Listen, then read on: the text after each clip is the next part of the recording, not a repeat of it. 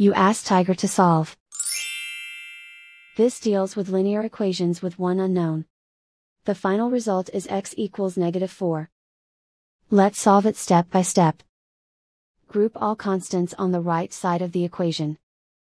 Add 16 to both sides. Simplify the arithmetic.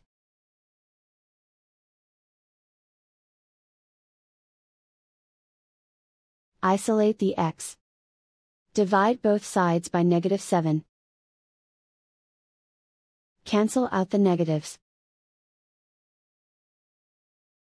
Simplify the fraction.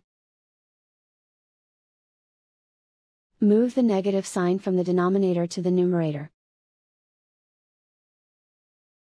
Find the greatest common factor of the numerator and denominator. Factor out and cancel the greatest common factor.